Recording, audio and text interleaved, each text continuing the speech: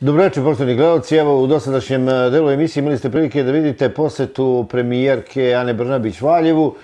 Imali ste priliku da vidite i reportažu sa sajma zapošljavanja, a večeras e, u studiju ćemo imati dva gosta.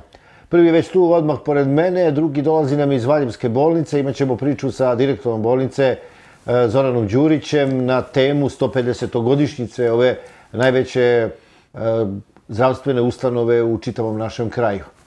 No, pre toga u studiju mi je Mihajlo Milutinović, direktor Nacionalne službe za zapošljavanje. Vreći, vesti su, da tako kažem, vruće. Ima ih i dnevnih, ima ih i starih nekoliko dana i pokušat ćemo na brzinu da e, dobijemo odgovore iz prve ruke na sve ono što nas u ovom trenutku interesuje. Dobro večer i dobrodošli. Dobro večer i hvala na pozivu. Odmah krenemo. Videli ste otprilike reportažu sa sajma. Vaša ocena? Sajem je uspješan prema očekivanju, znači to je jedna već tradicionalna priča. Mi imamo po našoj agendi dva sajma godišnje koje treba da se drže, prolećnji i jesenji. Ova jesenji je ispunio očekivanja. Znači prema sporazumu o učinku koji mi potpisujemo sa direktorom nacionalne službe, mi imamo i tu obavezu i dužni smo da ispunimo taj plan. Mi smo daleko iznad onog što je pred nas projektovano kao zadatak. Koliko Valjevo zvanično ima nezaposlenih? Valjevo ima negdje 6150-160 To je, to je podatak koji varira i ne možemo ga uzeti kao dobro. Jest. Jer to iz nedelju, nedelju se menja. Da, nebitno to. Ja sam to zbog uh, jednog drugog uh, šlagvorta, ja bih rekao, vas pitam, evo mi koji ovdje pratimo oglase, sve više valjevskih preduzeća i to veoma uspešni koji traže radnu snagu i ne mogu da je naću. 6000 imate nezaposlenih, šta to Valjev u ovom trenutku fali, jer očigledno da nešto nije u redu. Mnogi kažu da je Krušik napravio dar mar na tržištu rada u Valjevu i da je zapošljavanje velikog broja ljudi praktično em podigao lične dohodke koji mnogi drugi ne mogu da prate. To je s jedne strane, a sa druge strane jedna vrsta kadra eh, je opet se okrenula put Krušika. Pa da vam kažem, to što Krušik ima visoke lične dohodke, to je odlično. To je dobro i za grad, dobro i za pojedince, dobro i za celo društvo. I jednostavno to je cilj kome treba svi da teže. Mi znamo da u Krušiku je bilo i vremena kada nije bilo baš tako. U ovom trenutku Krušik je, uslovno čeno kažemo, najpoželjena destinacija za nezaposlene. Mi imamo e, u oblasti građevinarstva, u oblasti drvne industrije, stalno otvorene konkurse gdje ljudi traže 20 i 30 ljudi, ne, niko se ne javlja ili se javi, vrlo malo ljudi, to malo ljudi što dođe, neko ostane, neko ne ostane, znači jedna velika fluktuacija radne snage i u principu ja zaista ne mogu sada kažem da je to to, ali sigurno jedan od razloga je što ljudi, svaki čovjek normalno želi da ima za sebe što bolje posao, što bolje plaćen, na kraju i da ne radi previše, ali ovaj, u ovom trenutku, znači, mnogi ljudi s kojima sam ja privatno razgovarao, rekli su pa da malo, bolje mi malo se strpim, da sačekam, da radim u jednoj kvalitetnoj firmi tipa Krušika, nego da idem kod nekog poslodavca gdje će biti neredovna primanja, gdje će mi deo davati u parama, deo, mislim, To je sigurno jedan od razloga, ali ne mislim da je konačan eh, razlog. Problem je nedostatak kvalifikovane radne snage. Danas na sajmu ste mogli vidjeti da se traži, masovno se traži kvalifikovana radna snaga od automehaničara, zanatlija svih vrsta i profila.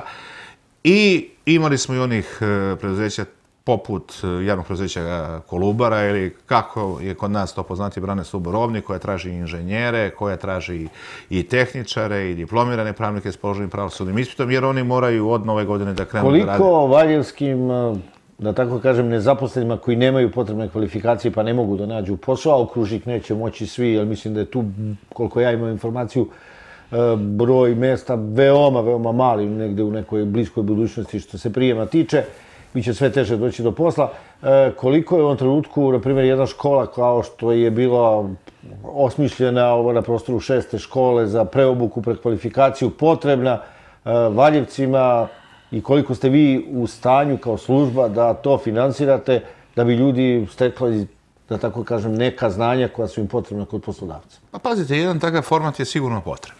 E, mi ne možemo biti uključeni direktno u to, mi možemo biti indirektno uključeni u to, mi možemo finansirati obuke za prekvalifikaciju u toj školi ukoliko ona zaživi, a ne vidim razlog da ne treba da zaživi, jer oko toga je već podignut, postignuta i politička saglasnost, ostaje više manje tehničke neke stvari da se reši, normativno to da se uredi, da bi se to na kraju i ovaj, pustilo u proceduru. Ima nekih naznaka da će to biti posebna skupština organizovana u prvoj e, polovini decembra meseca da bi sve to stigli da usaglasimo sa republičkim budžetom jer su značajna sredstva već rezervisana u budžetu za tu namenu. Znači, E, takav jedan profil obrazovanja se pojavljuje kao neminovno. Imamo sad jedan paradoks. Svi su bežali od zanata. U ovom trenutku mi imamo ponude gde u Beogradu, recimo, građevinski radnici nudi se 60, 70 i više hiljada dinara plata, a menadžeri opšte struke imaju 35-40.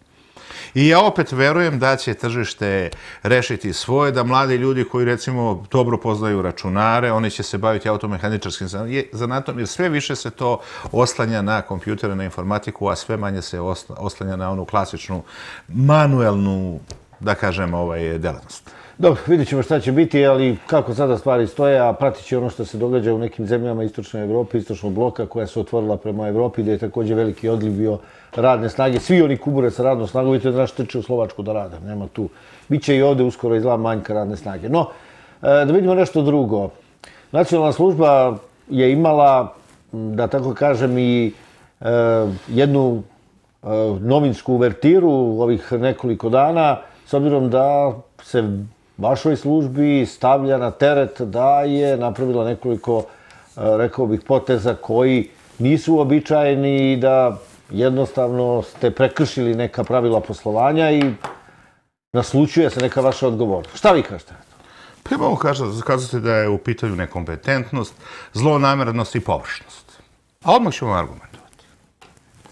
Svetska banka finansirala je testiranje zaposlenih u nacionalnoj službi za zapošljavanje Valjevo je. Znači drugo u Srbiji. Izvolite. Podatak stoji na našem intranetu, možete videti, možete snimiti, evo pogledajte vi. Zaokruženo, veliki gradovi, velike sredine, ima koji ima i nulu, imate glavni gradove koji su ispod 50%, Valjevo vidite gdje je zaokruženo, to je prvi deo. Drugi deo. Ono što je napisano, vidite, vi ste u novinarstvu ceo život. Nije opasna ni istina, ni neistina, najopasnija je poluistina. To je kao da vi date u poluvremenu rezultat utakmice. E vidite, moramo malo se vratiti. Vi ste imali kontrol? Ajde, dobija sam da imali ste kontrolu. Pa kontrola rekla da nešto niste dobro Ne, ne, ne, ne, polako. Molim vas, nije može kaže. Je to prosto. To je redovan postupak koji na svake godine ili svake dve godine dolazi se u filijalu, interna kontrola, koja uočava uglavno neke nepravilnosti, ukoliko ih ona uoči, ona da mere i vi to otklonite, oni iskontrolišu da li je to to i to se nastavi. I to je običajna pojava. Tako nama dolazi inspekcija. Apsolutno, apsolutno i ja ne vidim famu oko toga. Međutim, ja strahovito držim do toga da nema nepravilnosti. U onom ključnom segmentu, koji je vezan za materijalno finansko poslovanje, gdje se kroz našu filijalu stotine miliona okreću, mi nemamo ni jednu jedinu nepravilnost. Narod naš uvek žulja da li je novac, da li je bilo zlopotre s parama. Znači, e, mi smo među redkim filijalama u Srbiji gde prilikom kontrole, ne prilikom trošenja, vidite, e, ono što pišu to su studenti ekonomije koji nisu završili ekonomiju, pa i njihova znanja dosežu negde do prve, druge godine, moramo e, praviti razliku između troškova, moramo između kompletnog materijalnog finanskog poslovanja. Ne da nije bilo nepravilnosti u prilikom troškova, ne, nego nije bilo nepravilnosti u kompletnom ekonomskom sektoru koji je ključni. To je prva stvar koja je nesporna. E, sad da se malo vratimo u nas. Nemojte Mi su... Nema, neću dugo, ja sam vrlo ću biti operativan. Pazite ovako. Mi smo bili sticam okolnosti, izloženi zadnjih šest mjeseci, imali smo tri kontrole. Krenulo je sa izveštajem internoj provjeri sistema upravljanja kvalitetom. To je da, pošto smo mi mogli bi da budemo odmah inkorporirani u evropski sistem, jer smo daleko odmakli u sertifikaciji kao služba. I mi, da bi ostali u tom sistemu, imamo permanentne provere. Prva provera koja je bila bez i jedne jedine nepravilnosti jedina u Srbiji. Molim vas, pogledajte što je podvučeno žuto. Izvolite. Ispričajte, prepustite gledati. Znači, došli su, ljudi kontrolisali su vrlo temeljno sve procedure, sve kako mi radimo, da bi ostali u standardu ISO 2015, 2008-2015 i jednostavno dobili smo najviše moguće, nema nepravilnosti što nije zabeleženo. Nije bilo dovoljno, zatim smo imali ekstremnu kontrolu isto sistem upravljanja kvaliteta. Gdje ćete dobro da pa, radite? U Srbiji se ne, dobar rad ne priznaje. Molim vas, pa onda imate problema kad radite dobro, jer pazite, vi imate one koji su vaša generacija, vi ste uspešni, oni su neuspešni. Oni, oni imaju animozitet s vama od detinstva, taj animozitet jača godinama i vi sad imate neke instrumente da možete da nekom napakostite i vi to e, nesebično koristite, znate. Ali to govori o njima, svako nosi svoj krst, vidite. Ja volim ovako kao sa vama, papire na sto, argumente i da vidimo gde smo. Pa ste po portalima pišu kriminalci, pišu ljudi koji su s one strane zakona ili debelo zagazili.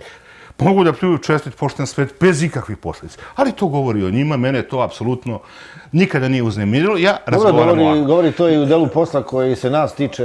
Pa vidite, vi morate da se Na izborite. portalima se svi bave. Ovaj, Pa, pa ja razmišljam, pazite, da i moja tetka i teča, ako bi došla ona da 2% ide na... Što ne bi svi otvorili po neki portal, lepo se naslonili, na opštinu uzeli par stotina hiljada godišnje, šta im fali? Pa, nikakvi standardi nemaju, nikakve odgovornosti nema u tom pisanju i možete do mile volje da pišete, da blatite, da pljujete. Jednostavno, ja ne želim nikada da demantujem, ne želim da ulazim u njihovo blato, ne želim da im dajem temu za narednu emisiju. Ali, ne branim Šta je sebe. inspekcija ipak na... Polako, pomolim vas, samo dolazimo dalje. Onda imamo dalje. Imamo eksternu kontrolu da bi ostali kao nacionalna služba cela, znači u sistemu sertifikacije. Eksterna kontrola takođe ocenjuje da nemamo ni jednu jedinu nepravilnost. Čak me pozivaju, gospođa Đukić je bila kao član ispred nacionalne službe, da budem jedan od vođa projekta za implementaciju standarda ISO 2015. Naravno, ja sam to odbio, jer imam mnogo sam angažovan pre svega radom, kako kažu, u opštini, ali ja idem sad, ja sam danas popodne, Da tu nima malo kopče. pa nema nikakve, pa ne znam, pazite, verovatno radim posao koji mnoge žulja.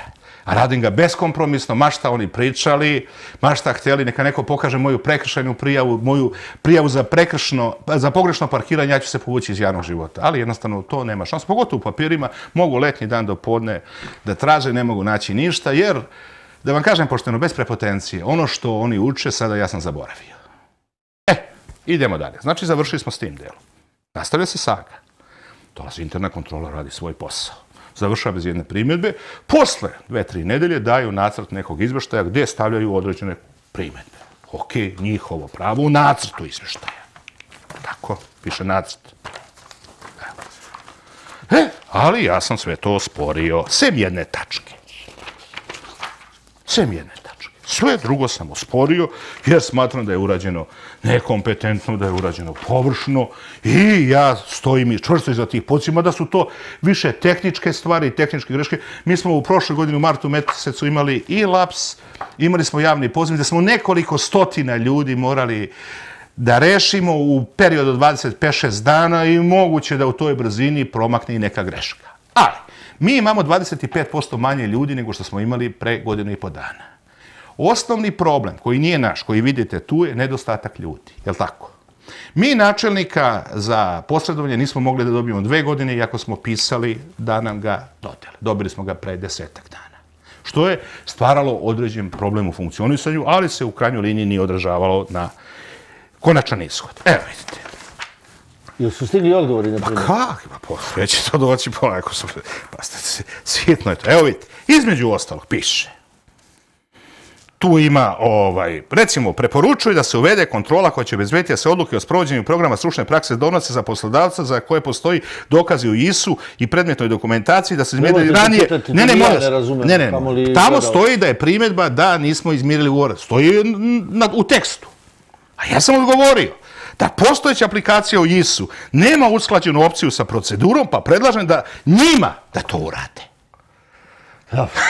Evo vidite, molim vas. Ja bih sad... Ne, bi, ne bi Pa se bavili, mogu, ljudi pazi. to obični sad ne razume. Pa razumeo, vidite, sam ja stavio to, čekam da bi ja... ali- To su neki zlonamerni ljudi, slikali ovaj izvještaj, pa su slali sebi, očekivali. E, ja sam upravo to htio Pa da vas pitam. dajte, molim Ko može da dođe do tog izveštaja? Pa to je i- problem, pazite, to, su, to je problem za, već za našu službu. Ja sam imao priliku da vidim jednog stari gospodin koji je to slao, fotografiju slao je mailovima i funkcionerima našim i nekim ljudima, ali to govori o njima. Ja jednostavno smatram da je to nisko, možemo sa svakim ću sesti ovako, vidite, ja nemam problem, moje znanje je ja se svog znanja ne stidim i znam da znam i jednostavno ne, nisam ni prepotentan, ali nisam ni lažno skroman. Prema tome, radite- činjenice i argumenti govore. Ja moram njima da naučim šta treba da radi. Evo vidite. Sad moram da nastavimo recimo. dalje jednu priču, pa ćemo drugi put možda pričati oko ovoga malo više.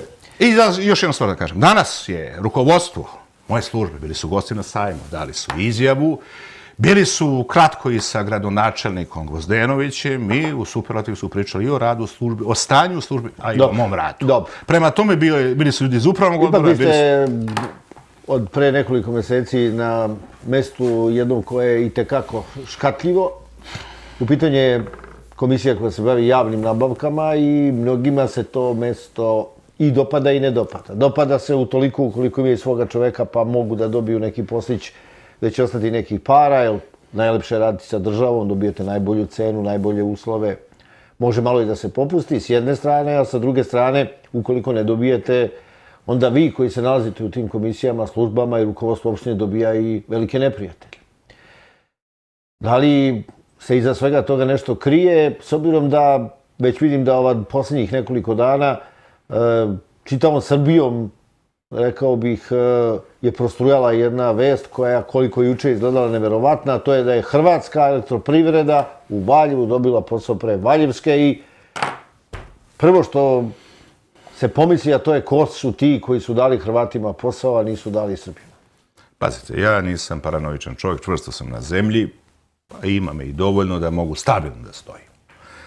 E, ja sam svestan bio, predugo sam i u poslu, predugo sam, uslovno rečeno i u politici, nikad sebe nisam doživljavao kao političara, uvek sam bio tu negde, uvek mi važnije bila struka od politike, ali jednostavno to uglavnom jedno drugo idu ispod ruke. Dobro bi bilo da idu. E, I ja sam apsolutno bio svestan svega što će mi taj posao doneti.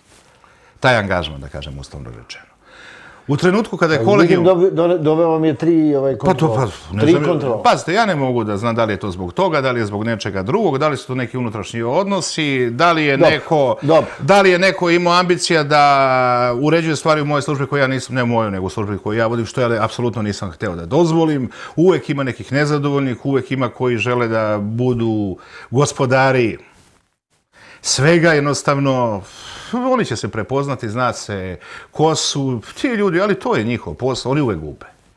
I oni koji nikada nisu gubili, počeli su da gube i mislim da, bez obzira na godine i na sve, da će polako i taj entuzijazam da splasne i kod njih. Tako da sam ja to optimista, to je lako. I, e, znači, verovatno ima tu. Ove kontrole koje su unutar nemaju veze sa javnim nabavkama jer su značajno pre nego što sam ja bio angažovan u javnim nabavkama. Zašto sam angažovan? Zato što je kolegijum gradonačelnika da ne kažem zamolio, ali su razgovarali u trenutku kada smo imali ono sve što smo imali, kada smo imali ogroman problem, zastoj, kada je sve stalo, zamolili su i smo se dogovorili, smo se da kažem, da budem precizni, da preuzmem taj deo posla, ne sam, naravno sa svojim saradnicima, sa gospodinom Pimićem i Nikolom Radojičićem, formirali smo jednu službu i to ide sada dobro, hvatamo jedan zamak, daćemo 1. decembra izveštaj gradonačaniku i kolijemo koliko smo uradili, šta smo uradili za ta dva meseca, ono što smo postigli prevazilazi sva moja očekivanja. Vi ste znači, rekli da se radi o više milionskim uštedama. Koje kako da ne, pa kako stvari da ne? desetina miliona. Pa desetina miliona ima, ali jednostavno neke stvari smo našli u koje smo trebali da uđemo, pa smo sprečili da ne idu, za nešto je postala dokumentacija, za nešto nije. E, neke kombinacije koje su godinama... Ne piše nam se dobro, Boga. Pa šta mi? Ako ste sprečili nešto. Pa, pazite, vi znate dobro, ali neke stvari jednostavno nisu. Za medije privatno sam rekao i vi vrlo dobro znate, ali ono što neću reći, verovatno gledalce mnogo i ne zanima. Ne želim se ja stvarno nekog heroja. Ja sam žrtva, pa evo, kukam. Ovdje je daleko od toga. Ja uvijek stojim iza papira, mogu da izgubim bitku, ali rad vrlo teško. Ja znam kome je odgovoran za svoj rad i ja tu imam besprekornu saradnju i nijednog jedinog trenutka to nije dolazilo u pitanje, ni pitanje povjerenja, ni kompetentnosti. Kako su Hrvati dobili posao? E, sad ćemo, dolazimo na to opet. Jer ministar je juče rekao da grad Valjevo duguje EPS-u pare, pa zbog toga e, jednostavno opet, EPS nije mogao sad... Opet, opet, nažalost, neistina. Grad Valjevo je danas, znači izmirio oktobarski račun. Danas smo ga dobili i danas smo ga izmirili. Grad Valjevo ima hronični suficit, što je dobro. Grad Valjevo ima jedan od najsolventnijih budžeta u Republici. Grad Valjevo na svom računu u depozitu ima između milijon i po i dva miliona evra, zavisi kako kada. Najviši mogući kreditni rejting u ovoj zemlji mi imamo, vidjeli ste pre emisije, pokazao sam vam ponude koje nama daju banke, sa bankama mi teško pregovaramo. Gradonačelnik ima tim koji ide, imamo uslove kakve nemaju ni neke šanice Evropske unije. Znači, to je jasno. I to ide dobro. Evo, pogledajte, molim vas, kako je stanje bilo sa EPS-om 7.11. ove godine. Ispričajte vi, ja ću da čitam. Znači, 7.11. mi smo uputili jedan mail gde smo 6.11. uplatili milijon i po dinara i 7.11. mi prema EPS-u nemamo ni žutu banku duga. Odakle ministru 40 miliona? Pa ne znam, znate kako, to je pitanje za njega, to je pitanje za EPS. EPS je jedan veliki, ogroman sistem, moguće da je tu došlo do nekog nesporazuma, da je došlo do permutone brojeva. Ja zaista ne mogu da ulazim šta se radi u drugoj kući. Mi ovdje imamo jasne naređenja od gradonačelnika da sve obaveze koje imamo, a koje su dospele i nesporne, moramo u zakonskom roku servisirati. I oko toga nema pogađanja. Da se vratimo na tender. Ajmo. Nije juče u medijima toliko ni tender bio sporan kao dug, za Boga gradska uprava u Valjevu je duguje, pa onda beži kod drugog, pa menja da ne bi platila su obveze daleko od toga. Gradska uprava ne duguje. Nikom ništa žuto. Otkud sada Evo vidite. Jeftinija ponuda? Po- Ja ne znam, to mora, to je pitanje za one koji su učestvovali. 11.4. doneta je odluka da se pokrene postupak javne nabavke. Javili su se javno preduzeće elektroprivreda Srbije Beograd, HEP Trade Beograd i NIS Novi Sad. Su se, oni su se javili. Zapisnik o otvaranju ponuda. Nije niko iz EPS-a prisustvovao otvaranju ponuda. Pogledajte. Odluka o dodeli ugovora, gde je HEP povoljni za nešto manje od Eh, 10% u odnosu na elektroprivredu Srbije i u 15% u odnosu na NIS Novi Sad.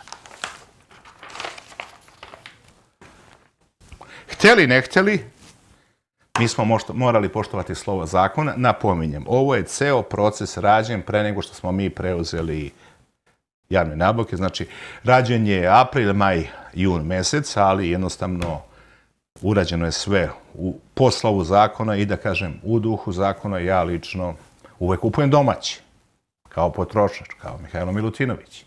Ovdje jednostavno mi smo bili dužni i morali da poštujemo zakon. Što je to tako, mi apsolutno nismo kompetentni ni možemo to da tvrdimo. Dobro. Ne bi trebalo tu nešto objašnjavati, jedino gledalcima da kažemo da HEP je praktično firma koja je registrovana u Beogradu, Tako je. ali je ogranak elektroprivrede Hrvatske. Da gledalci znaju. Prema tome, nameće se jedno logično pitanje, ne tražim baš odgovor od vas.